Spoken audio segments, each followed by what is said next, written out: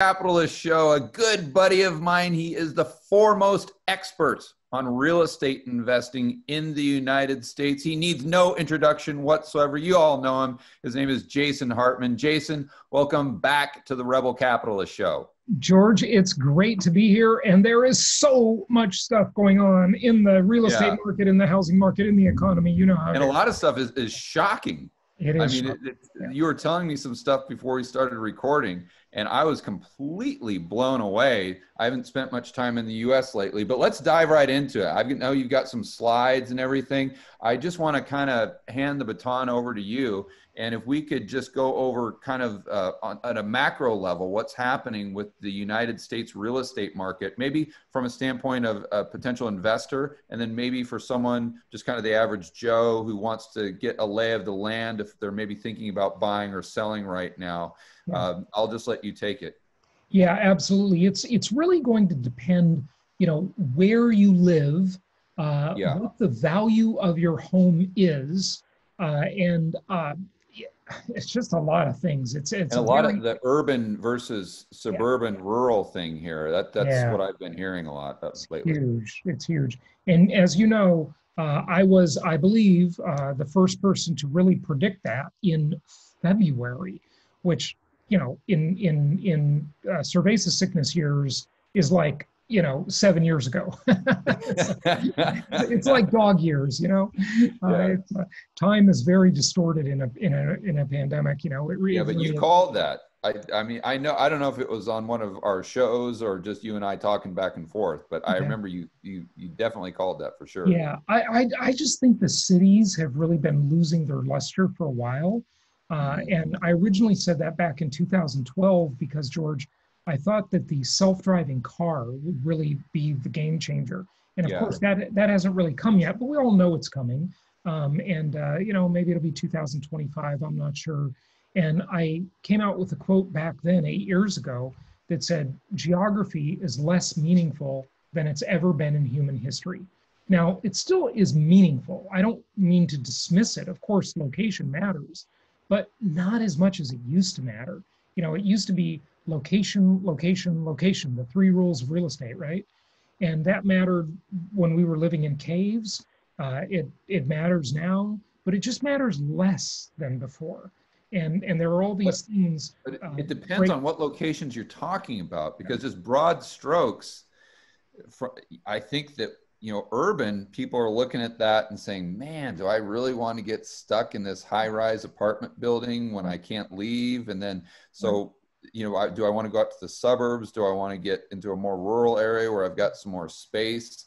We might see kind of a migration.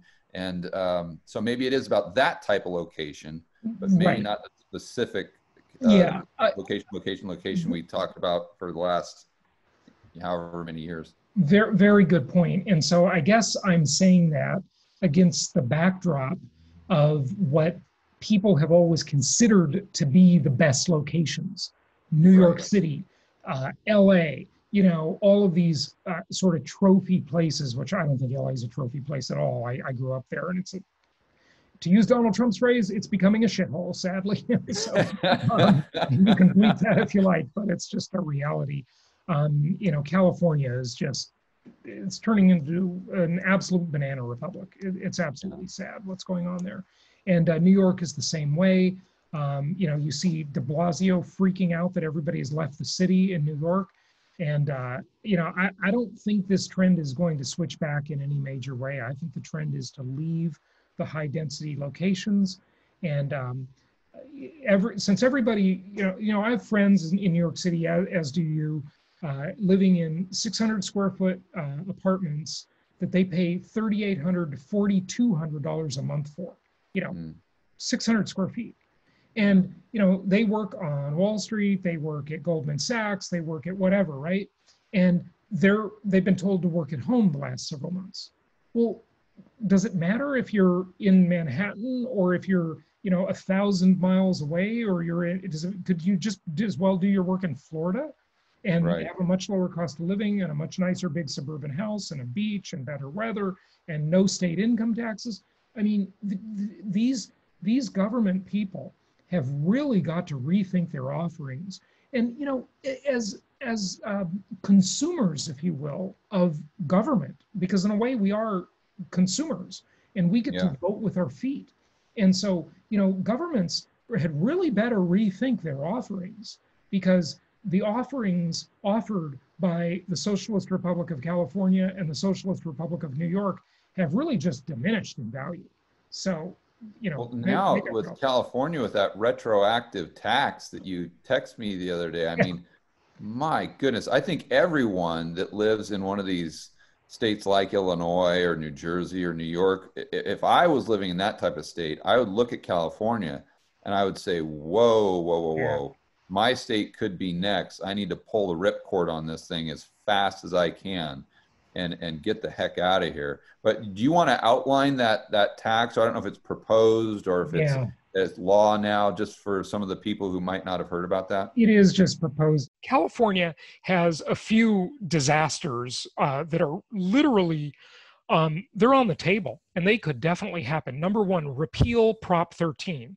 Back in 1978, uh, the brilliant Howard Jarvis uh, created Prop 13, which I think really allowed the California real estate market to flourish for many years. Yeah. Uh, because with Prop 13, it said that the state cannot charge more than 1% of the assessed value in property taxes. And it had all sorts of other provisions that, you know, like older people could sort of stick around in their house and their house could go way up in value, but they they could only raise it a small amount over the years. And mm-hmm. and and if if that is untethered, look at it like Nixon closing the gold window in 1971. Okay? Right. You know, it's going to it's going to be very problematic for the state and and chase a lot of people out. So that's one Where thing do you think property taxes would go? Just out of curiosity. to the to the infinity and beyond.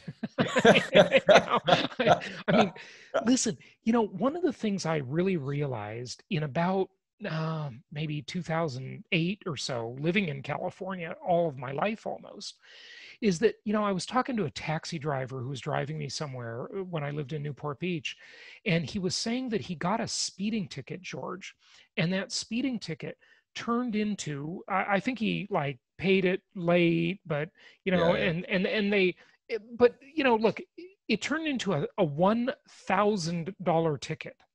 Wow. And and you know what that makes us realize is these are all sorts of non-tax revenues. They're not actual taxes, but they are taxes in a in a different Yeah. way. Yeah. And when you get a state or any government, any municipality that is broke, they become desperate. They become predatory on their citizens. Mhm. And you just don't want to live in a place like that. You know, New York, California, uh, you know, Illinois, you know, these are places that are becoming very predatory. The, California's taxing agency, the FTB or Franchise Tax Board, is one of the most vicious, aggressive taxing agencies in the country. It. It's absolutely incredible how far they will reach and how they've been building this economic Berlin Wall around Yeah. their state to keep people from taking their money out.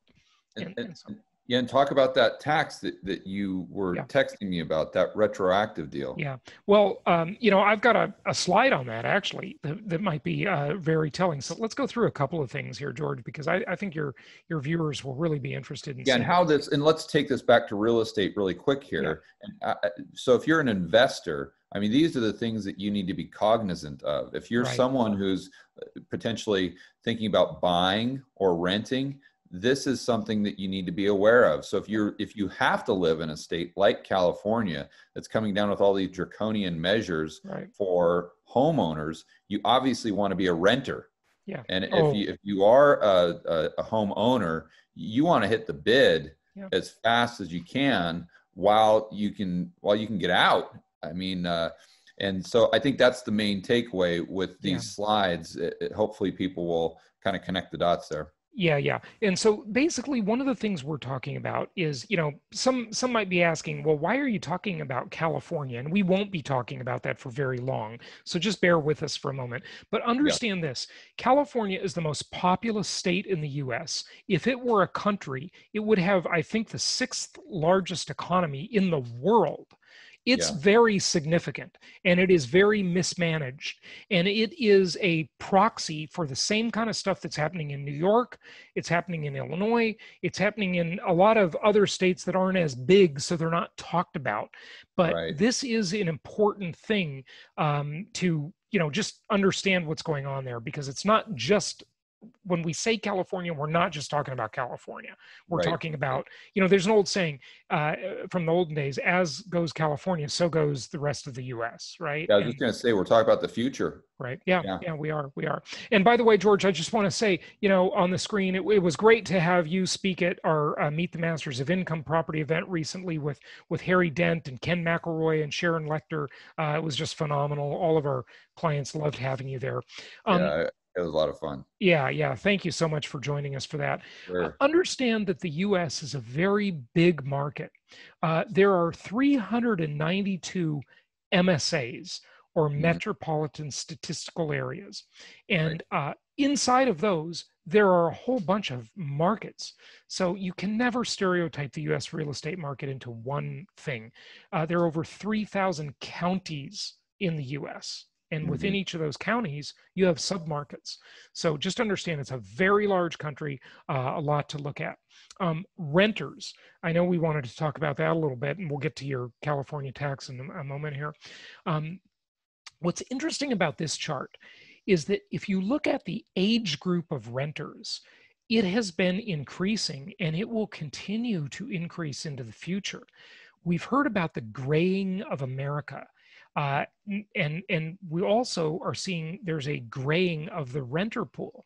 Well, what does this mean to us as investors? What does it mean to the overall economy? Good question.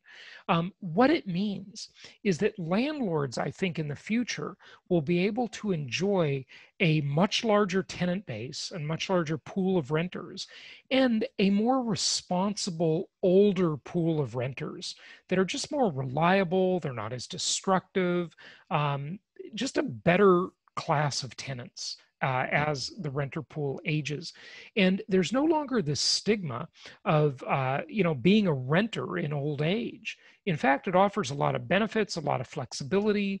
Uh, you know people can live where they want they can try different locations they can move to tax friendly locations. Um, you know they can do what you're doing. You're you're kind of doing a little bit of the digital nomad life. You're, you've you know lived in a few different countries and, and you're enjoying that and you're learning a lot and meeting a lot of new people. That's a great experience and it just gives you a lot more flexibility. But looking Yeah. at the chart here we can see that back in just 2007 there were only 6.6 million renters over the age of 60 and Wow. now there are over 10 million renters over the age of 60 and by 2035 there will be almost 20 million renters over the age of 60 now the overall renter pool grows significantly. For about for uh, every 1% decline in homeownership rates that increases the size of the renter pool by about 1 million people Hmm. just sit with that for a moment and I, I'm the only person in real estate who has said that I think the homeownership rate is way too high. Okay. It really should be about 50 to 55%, in my opinion. That's the right number. Um, Well, the healthy number, just a to healthy clarify, number. Yeah. the a healthy number without the subsidies from Fannie and Freddie. Exactly, and it'd probably be lower than that without those subsidies. But uh, but anyway, that's a long discussion. Here is the California thing, and you had him on your show, and and so did I. Uh, that's good old Peter I think I'm talking to Peter on uh, Monday. Actually, Yeah, I'm yeah. on Monday. Good stuff. Well, I mean, look at this. You know, he he tweeted and he said California proposed a point a 0.4 percent annual wealth tax. Now, Um, understand, folks, what a wealth tax is. A wealth tax is not an income tax.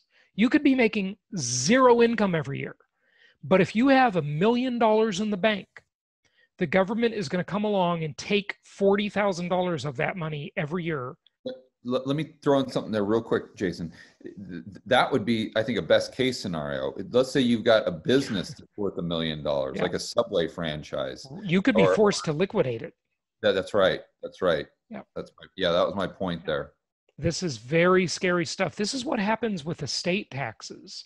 It forces uh, heirs to uh, to liquidate the assets of the estate when their when their parents pass away for example because mm-hmm. they've got to liquidate it just to pay the tax so right. they're basically forced into a position where it may not be the right time to sell the asset they may not want to sell the asset maybe they have all kinds of liquidity for the asset and you got to take a massive haircut like that subway franchise I mean, you're going to sell that in two days yeah. It's going to take you two years to sell the thing. Yeah. And then because you owe 40 grand in taxes, let's say. Yeah. It's, it's, it's very destructive to the economy. You know, all those people that were being employed by that business could lose their jobs.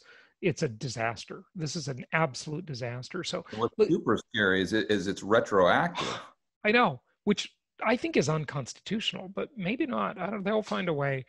So here, here's what they're saying that would this would apply to former residents and this goes back to what i was calling george the economic berlin wall now folks i've been to berlin a few times it's a great city berlin germany i, I was actually born in europe uh, but i've been to berlin a couple of times and the first time i went to berlin in the early 90s right after the wall fell um, you know, I learned about the story of the Berlin Wall, which they basically erected a Berlin Wall in a weekend. And they did this to stop the brain drain as everybody was leaving East Berlin and going to the West for better opportunities. They yeah. thought there is a brain drain. We've got to force these people to stay here as prisoners they, they against their will. For their protection. Yeah, of course. It's always That's for our protection. They sold it as your protection. We have all these spies coming in from the West. So we're going to protect you by building this wall. Yeah. Yeah.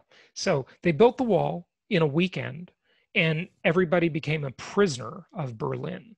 Well, California is attempting to do that with economics and make yeah. it impossible for now. I left California in 2011, nine years ago. This could apply say, to me. Might, yeah, that's what yeah. I was going to say. I know, I know. They might say, you know, you were here in 2010 and 2011 uh, so you owe us taxes.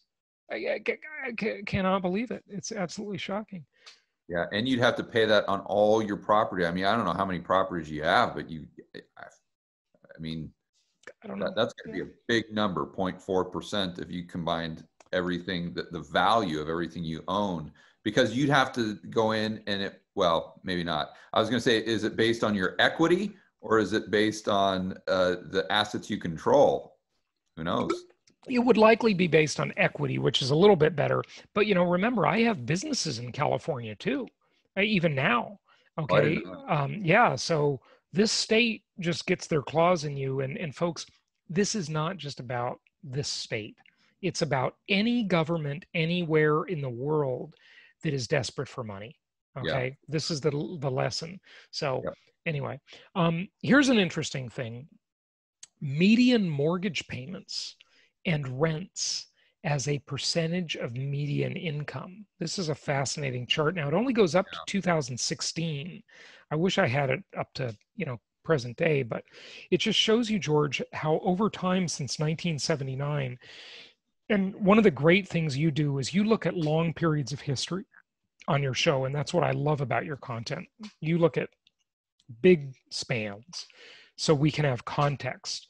And here you can see how this divergence has happened, how at times in history it's been a better deal to be a renter, and at times it's been a better deal to be a homeowner. Okay. Mm-hmm. But now uh, this has diverged even more since this chart ended in 2016, where it shows that the median mortgage payment versus median income has declined, but the median rent payment versus income has increased dramatically. Right. And that means landlords are in a very favorable position. Okay. This is a, a landlord's market for sure. I mean, they got leverage, yeah. Yeah. Yeah. Um, and I'll, I'll, stop sharing this for a moment. Uh, and I, I want to just show you something. Um, and I'll just hold it up in front of the camera. Uh, you talk a lot about inflation, George. And I talk about something I call packaged commodities investing. Yeah. And one of our clients sent this report, the lumber market report. Now, yeah, of course, you know who you should talk to? You should talk to the uneducated economist. R- remind me when we get done because he focuses on this stuff. He's a good Okay. buddy. Anyway, keep going. Okay. Okay. Good. Good. Thank you. Thank you for that. Um, so, you know, I talk about this packaged commodities investing. How when we buy a house, we're really buying the commodities, the ingredients, the lumber, the concrete, the glass, the steel, the copper wire, the petroleum products, the labor, the energy it consumes to build the house. All of these ingredients, right? You look around my house, you see ingredients. They're just assembled or packaged, if you will, in the form of a house. So lumber is one of the big ingredients uh, for a house. And one of our clients uh, is in the lumber industry and sent me this internal newsletter called the Lumber Market Report. So here it says framing lumber prices climbed further into record territory as acute supply scarcities remained in effect. Frustrations mounted for many buyers of lumber, okay, uh, who, who continued to struggle to cover immediate needs. Recent lumber production statistics put imbalance between supplies and demand in clearer focus. Check this out. George, you talk a lot about how there's inflation hidden in the system that we haven't seen yet, right? Well, here's just yet another example of it, okay? Due, to supply shocks, uh, often too. Yeah. Supply demand shock. Yeah. Supply shocks. Yeah. Yeah, it says through May, Canadian production, now a lot of lumber comes from Canada. Um, uh, through May, Canadian production was running 15.9% behind the same period a year ago, with British Columbia down 25.2% year over year. And it just goes on, and he even circled the stuff to just talk about how there's this incredible shortage and prices are going up. One of our providers that sells uh, rental homes to our investor clients Yeah. just last week had to raise the price of all these houses by $2000 because the building materials cost has increased so much Mm, wow. Yeah. So, where are mortgage rates right now in the U.S. Oh. for for thirty year fixed? incredibly cheap one big lender just announced uh, for now this is owner occupied mortgages. Investors don't get these rates okay? They're they're a little higher for investors. But for owner occupied because that's the only one that really has a good index okay um, you're sitting down i hope your uh, viewers and listeners are sitting down 1.99% 30 year fixed rate loan you're literally getting paid to borrow. George what do you think the real inflation rate is right now Yeah. trick question right I'd say, I mean, as, as far as the stuff people are buying on a daily basis, Yeah. I think that's the, your the crux of your question. yeah It's got to be five to ten percent. So if you borrow money at 2% and you have inflation of, say, just 5%, let's be conservative, you're getting literally paid 3% to borrow the money, not including the tax write off that you get for paying the interest on that money. So Yeah. if you're in a, say, you're in a, a terrible state, right, where you're paying a combined state and federal tax rate of 50%, just for round numbers sake. You know, it might not be that high, but let's just go with that for round numbers. So you're really paying 1% interest, not 2% interest, because half of it is deductible. So you're getting paid 4% a year to borrow the money if you never rent that property out. It's yeah. amazing. It's incredible. Yeah, and and then you gotta. I would try to uh, nail it down a little further and try to figure out how much the has have prices have rents increased per annum on average going back to call it 2000. I mean, Yeah. do we?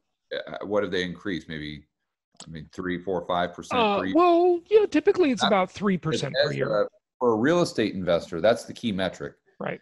It's not just inflation; it's Sure. it's rent inflation because Right. that's what you're using to pay that mortgage down Mhm. with. So, so that that's where you got to look at the delta as between the increase in rents and the interest rate that you're paying on the debt.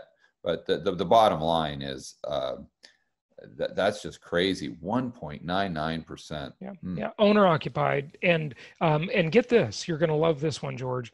if uh, you talk a lot about, uh, you know, you do some great videos on how there is another crisis looming, right?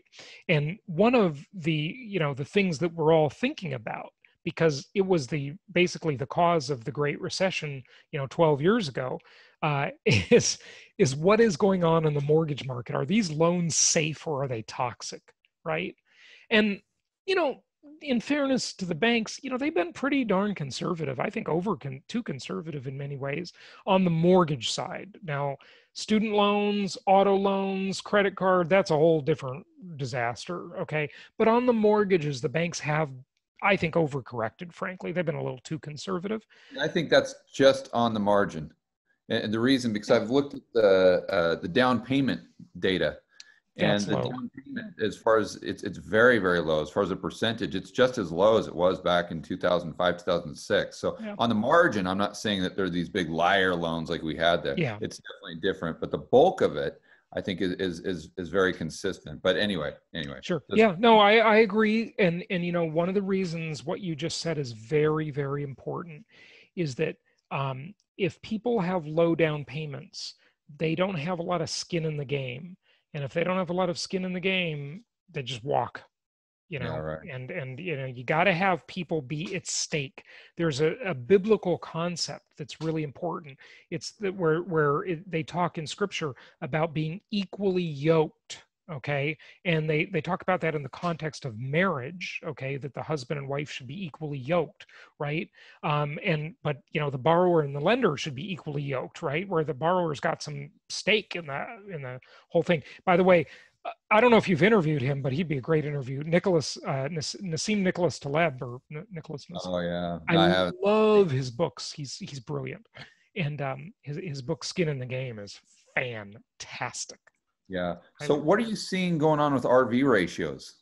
Rent to value ratios. Yeah, and, Um, and, and linear markets that we like. I mean, is that rent to value ratio is definitely declining. It's it's Yeah. very hard to get a good quality property and get a one percent rent to value ratio. But I did a podcast recently on how the rent to value ratio has been repealed. Now, I don't completely believe that, but for headlines' sake and clickbait, I kind of thought it was pretty good. Uh, so on positive cash flow now with those mortgage rates at 1.99%. You got to factor that into the equation because at the end of the day, it's all about positive cash flow. Exactly, exactly. Because the Gammon, the George Gammon definition of an investment is something that pays you. That's an Right. investment in in your eyes, and I love that that definition that you have. Uh, so you really don't need uh, to get a one percent rent to value ratio to have a fantastic investment now, because these mortgage rates are so low that you know your your payment has just dropped considerably. Let me show you something. By the way, I'll, I'll What just numbers are you seeing that, where, that still pencil out as far as an RV ratio? Um, oh, you can pencil at 0.6%, 0.7%, Wow. you know, really Wow. quite nicely. It's, it's pretty amazing. Let me just show you a couple things here on the screen. Um, this one is um, the S&P 500, which of course is a ridiculous money pump game. You know, it's a whole nother conversation. But what's interesting about this is when you ask yourself the question, compared to what? Look at the builder, the home builder stocks compared to the broader S&P and they are they are exceeding the S&P by a wide wide margin um, that's pretty that's a sign of a lot of home builder optimism okay? So take it for what it's worth just wanted to mention it. Um, here is the pending home sale index published by NAR, the National Association of Realtors, uh, and it shows you in 2020, it's like a hockey stick. As soon as April hit, demand just skyrocketed, and everybody wants to reposition themselves to get out of those dangerous, densely populated, race riot torn urban areas and get into a nice safe suburb where you can socially distance where you don't need to worry about uh, you know a bunch of lunatic rioters where you don't have some idiotic left-wing mayor that won't you know enforce the laws. I, I mean the, these mayors of these cities should be put in prison that you know they have a duty to protect the public and, and they're just not doing their job it's it's absolutely terrible what's happening. So home sales have been skyrocketing. It's amazing. And but, but is that, can go you go back to that? Yeah. So here's the is the pending home sale surge a result of more deals being done, or is it a result of the lockdowns increasing the amount of deals that are actually pending because they can't go through at the sale, so they have to extend it further? Well, the pending home sale index, as I understand it, it only counts the number of deals that went under contract which okay. Eh, see one of the here that's an important point you raise I'm, I'm glad you brought that up one of the problems with real estate statistics is they're always 60 to 90 days behind they have a big time lag so many years ago nar came out with a pending home sales index where they could simply look at the mls system uh, all of the MLS systems across the country. And they could say, okay, this property was available and now it went under contract. It's reported as pending. And it might take 30, 60 days to close the deal, but we don't care. We're just counting that it became a pending sale. So now we have more real time information as to what the pulse is on the market. See, with the stock market, you get data in real time. You know if the S&P is up or down uh, instantaneously. Right. With real estate, you've got to wait for the house to sell, the deal to close, the deed to get recorded, and then the recording data to be all parsed and assimilated and aggregated and published. So the pending home sales gives you a pulse of what's going on in a much more real-time fashion. Right, but but my point is, if there if a house goes into pending, and the closing date gets extended, let's say a month, two months, three months, then it then it is still a pending sale. Right? Yeah, that that's so not what it is.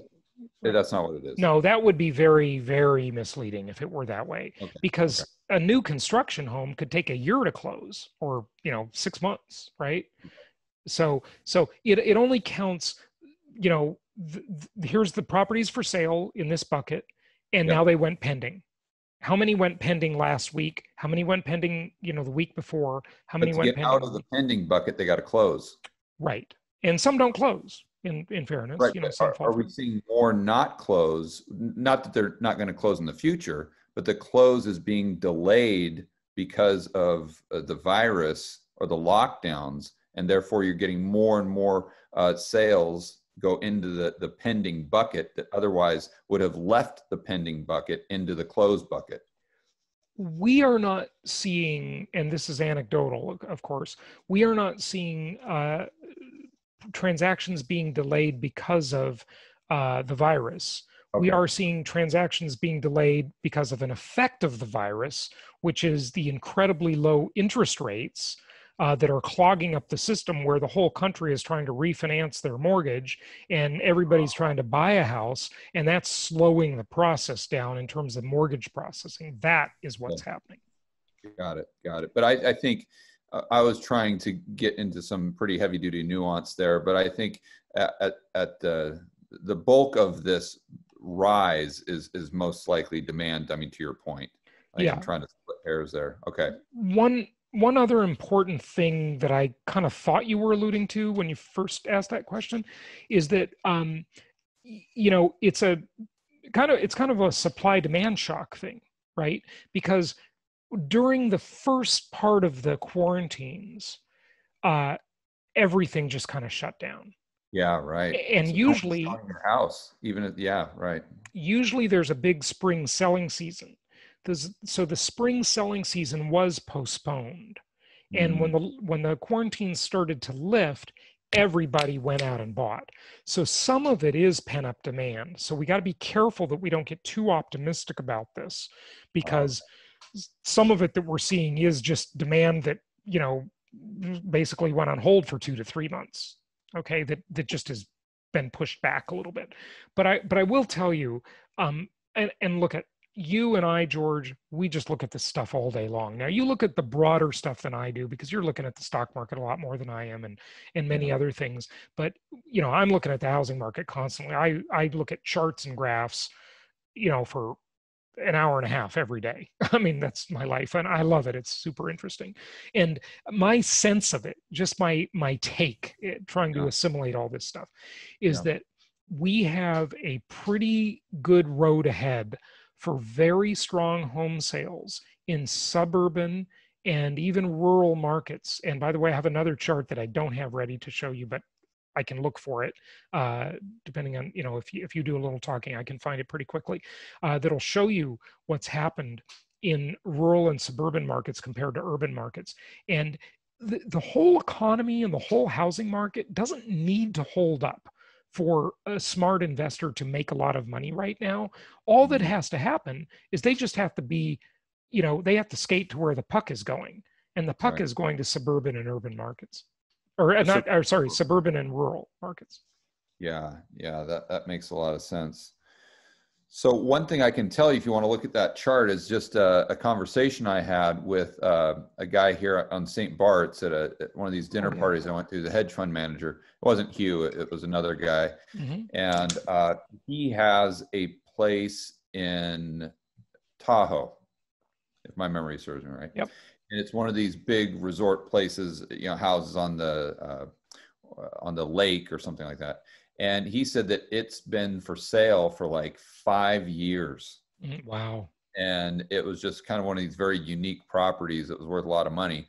And he just wasn't really willing to drop his price too much. Mm-hmm. And he said, just as of the last like month and a half, snapped up yeah, the real estate agents just calling him saying, "We got another showing. We got another showing. Yeah. We got another showing. We got another showing." And he said he just he sold it. Uh, you know, he finally got the deal closed. But he said he saw just an, a massive increase in the amount of showing. I mean, he said he'd go like a year, yeah. and it wouldn't get shown. So here's the, here's the reason. Here's the reason. He didn't have to lower his price.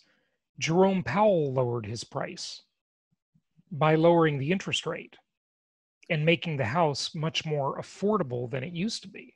That's what well, happened. Yeah, yeah, in that price range, I don't think it was uh, the Jerome Powell effect.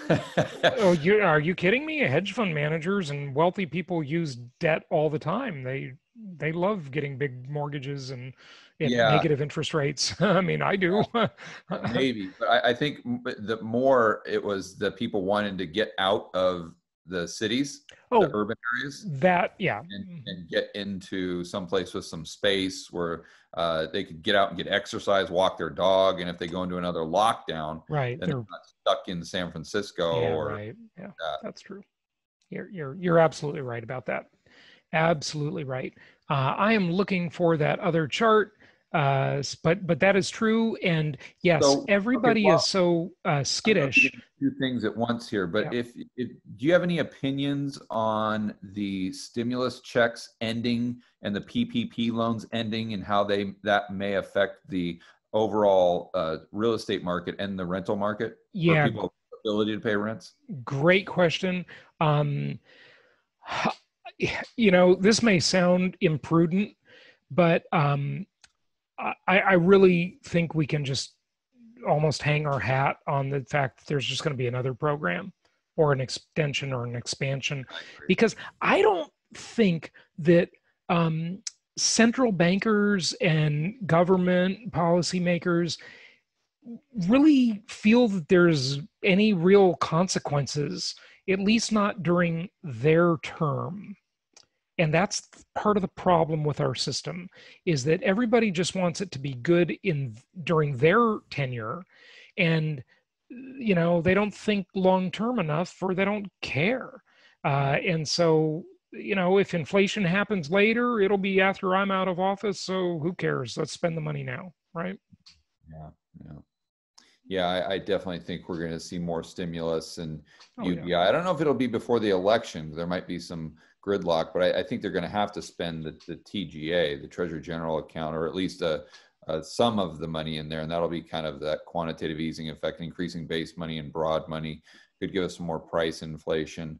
But uh, I, I definitely think after, regardless of who's in office, I think there's going to be some sort of more consistent uh, stimulus, and whether you want to call that QE for the people or, or UBI or whatever, I, I think yeah. that's going to be part of our future. We we talked about that before, George, and I completely agree with you that you know this is all an excuse to really push a universal basic income uh, or a massive expansion of the Section 8 uh, government housing program.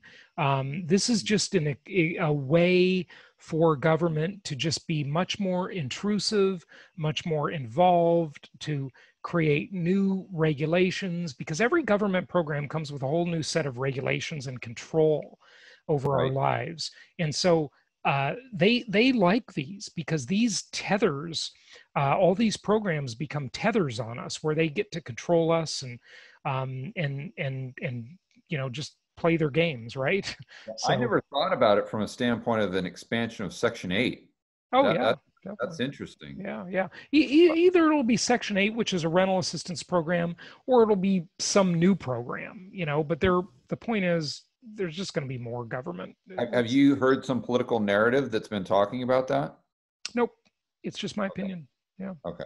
Yeah. No, this is just my own, you know, you just know it's coming. You know, whoever doles out the goodies is the one who gets reelected. I mean, yeah. what are you hearing in the States as far as states proposing like a moratorium on rent or rent controls or something like that? Or are we are you hearing more about that? I'm just trying to have you be yeah. my eyes and ears on the ground there because I spend so little time in the states. Yeah, there's definitely a lot of talk about that kind of stuff, but it's mostly in the left wing areas, the business unfriendly jurisdictions, the landlord unfriendly jurisdictions, these are the places you don't want to be anyway. Okay, you know they're yeah. they're just not they're just not a good environment. Um, okay, I didn't find the exact chart. Okay, but this one's interesting. Look at this. This is the uh, greatest daily net exodus and gain and you can just see and this is only you know a few amount of people daily yeah so this these are people coming and going. This is net migration, in or out. So let me, let me back up on this one a, a, moment. This is this is huge. Yeah. Because I've I've always told people that uh, I see that, if if rents were to go down, and that, that's a big if, but if they were, you would have to have a decrease in population, in or most likely have a decrease in population in that uh, metro area. Mm-hmm. Or another thing that could happen is the population might not decrease, but the population could get so poor that they move, that more and more people move into the same square footage. Yeah. So instead of having two or three they people, double up. Yeah. Yeah. Now you got eight people, nine people, like yeah. you see in South America, and that would have the or, or Los Angeles. You see that in Los Angeles all the time. Yeah. So you have the yeah. same effect uh, of a decrease in population, therefore maybe downward pressure on rents. Yep. So this is just shouting at me that the last place you would want to own a rental property is in L.A., Chicago, and New York. Yeah. Right. Net migration yeah. of population. Wow. Yeah. yeah. That's huge. Yeah, it's just crazy. It really is. Now, I will say we've done a, a little bit of business in some of the Chicago suburbs to where this doesn't really apply. This is more the city proper. Um, yeah. And, you know, I think some of those are still okay. Now, they still, the problem is they still are in Illinois, unfortunately. But, yeah. you know, Chicago's like the only sort of famous city in America that's actually not that expensive. Um, so it does have some things going for it like that. I, okay. That's out of all the markets that you're in, that's probably my least favorite. Yeah. I, I yeah. much prefer the the more just straightforward linear markets. Me too, in the southeast especially. Yeah, I mean, yeah. listen, you like Kansas City much more than I do. I'm not that crazy about the yeah, place. that's because but, you can't get a good provider there. I think if you had a good provider, a good infrastructure, you'd like a little bit more. Yeah, well, we've had a lot of bad ones there. For some reason, it just we we joke about it. We say, "What is something in the water in Kansas City that you just have all yeah. these bad people?" But you got some good people you work with. Um, but um, but you know, the the the action is where the sunshine is. That's the, you yeah. know, the, the smile states, right? If you drew a smile across this map, um, this is this is where the action is and this stuff's too expensive over here so and now texas has become too expensive a lot of texas what about so san antonio it's better but it's still gotten it's getting texas has been getting kind of expensive you know florida is really where the action is now florida yeah. and atlanta is okay too so so that's one chart let me show you another thing Okay. Okay. So you talk about inflation. I thought you'd like this. This is a real life example from my own life. Okay. I bought I bought this table. This is my Amazon order. I bought this table on August 1st of 2018. And Kerry Lutz, who you know is a mutual friend yeah. of ours, he yeah. borrowed it from me and he hasn't given it back. so I thought I'll just give it to him and I'll just buy another one. It was only $34. Right. But guess what? Now that same table is $70. It's huh. doubled in price, George. Just a couple years. In two years. This is yeah. an, a total example. Like, this is the inflation nobody's counting. Yeah. This table is not in the consumer price index, but it's real because I want to buy it. Yeah. Yeah. Yeah. So thought you'd like that. Uncle Jerome Powell. Let's talk about him before we wrap up. Okay. Yeah. So uh, you know, as much as we love, love to hate this guy because he is a Keynesian uh, for sure, but you know, he has given us investors a big gift. Okay, and you know, I'm not like giving them a compliment. I'm sort of being sarcastic about that, right? But uh, but whatever. Anyway, look at the payment of the house payment as a percentage of income. Hmm. Okay, look at this: February 2017 on up to February 2018. I wish I had the chart that went up to yeah. present day. It's, you know, this is the problem with these damn charts. They're all different time periods and you can never get them uh, totally complete. But but just notice here folks how the payment in June of 2017 as a percentage of income was mm. much higher than it was in now it's much lower now. If you extended this chart it'd be really low now. Okay. Well, shockingly, eh, eh, um, Jason, I don't know if you've heard any of my talks with Lyn Alden lately, yep. but she pointed out that the incomes in the United States on average have gone up. Yeah. Up the last couple months due to all these stimulus checks and sure. extended unemployment and whatnot, while the while the unemployment rate is up, you know, over 10%, yeah. incomes have gone up. So if you're telling me that mortgage rates are sub 2%, and I know from Lyn's work that incomes are up, I, I mean, I can't even imagine what that chart would look like now. This is the moral hazard of why people won't come back to work. Why should yeah. they? It's better to yeah. stay home and watch Netflix than to go back to your low wage job because you're literally making more money staying at home. So yeah. it's a it's a huge moral hazard. But you know, let me mention another thing and I don't have any data on this. It's just, you know, it's just something I've observed and maybe you have too. But you know, there are some definite good things coming out of this whole pandemic and you know one more of them amongst many others uh, of including creative destruction and, and all sorts of good reworking of business and life in many ways that are they're very positive. A lot of people george are sitting at home and they are learning new skills. You know they are learning how to program they're learning how to code. They're learning how to do all sorts of stuff how to start a home-based business. And you know we haven't seen any benefit of that. Now granted there's a whole other segment of the population that's just becoming losers and couch potatoes. Uh, but but some people are using this time productively. And you know they're finally getting time to improve themselves and yeah. further their education that they didn't have time to do before. So it's, you know that that'll have a good impact on the economy at you know in the future yeah i, I just i wish there was uh, more creative destruction with the big corporations uh, yeah. instead of the the ma, mom and pop yeah. shop on the corner i, I agree I uh, schumpeter would be allowed to grab hold of uh, things like Hertz and American Airlines and yeah, I agree. The, and uh, and how about how about Goldman Sachs too? Uh, you know, I mean, I mean, there's there's no startup culture in these big companies that get bailouts and and all sorts of Cantillon effect government favoritism right. uh, because they don't get destroyed.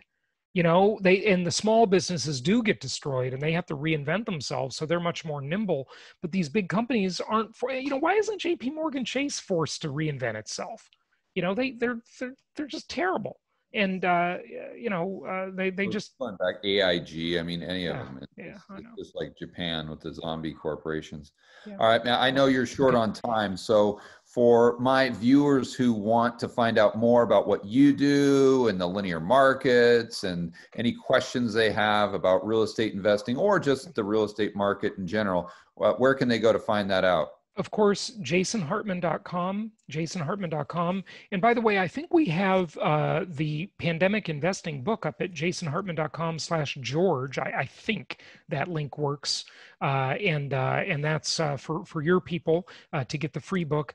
And um, I just wanted to also show you this one more thing on the screen. Yeah. In 2006, sure. 2006, a $100,000 mortgage was $626 a month. Yeah. In 2020, you get a $170,000 mortgage for a dollar more per month. Yeah. That's the 70% uh, discount that Uncle Jerome Powell, our rich uncle, gave us. yeah. I, I, don't know whether that stat makes me laugh or cry. But, and it's, right. it's mixed. I, will be the first to agree with you. But, uh, you know, the point is look, you know, the powers that be are screwing the economy in a lot of ways. Let's take what we can and use it to further our own wealth and future. And you know, you're you, we're not going to change it. Okay, it's just the way it is. Um, well, Jason, we got to build wealth and thrive in a world of out of control central banks and big governments. Right? I think I've heard that before. I love it. I love it. All right, man. Have a great day. We'll do it again soon. All right, George. Thanks a lot. Happy investing to you and your viewers.